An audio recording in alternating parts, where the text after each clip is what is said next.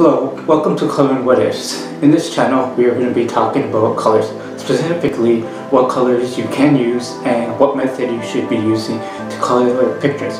So if you enjoy coloring as much as I do, I suggest you continue working with me as we work together uh, to complete finished drawing.